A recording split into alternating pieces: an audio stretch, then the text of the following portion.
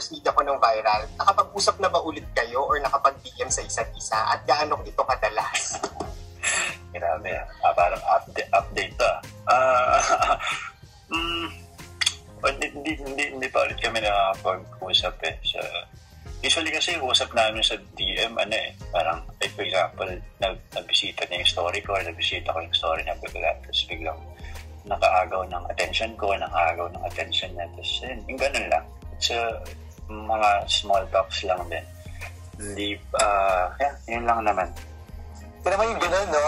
Joshua, no? Yung makita lang yung story mo, nakita lang ng mga fans na na-view ng yeah. celebrity yung isang story. May storya na kaagad, di ba? Viral kaagad. Ang bilis, eh. Bilis, no? Galing. Wala, eh. Ganun talaga ngayon kailangan talaga tayong masanay at maging careful. Justin? Ayan, um, um, yung second question is for Charlie.